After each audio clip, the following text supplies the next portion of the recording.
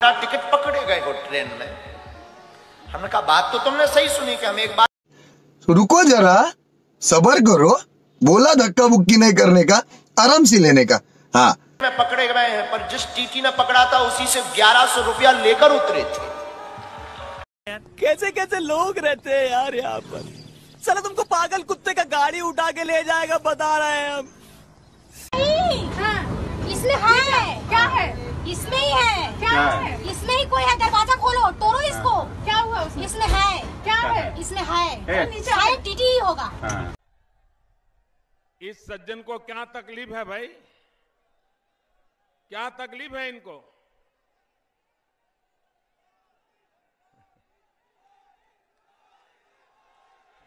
Train आपका है क्या?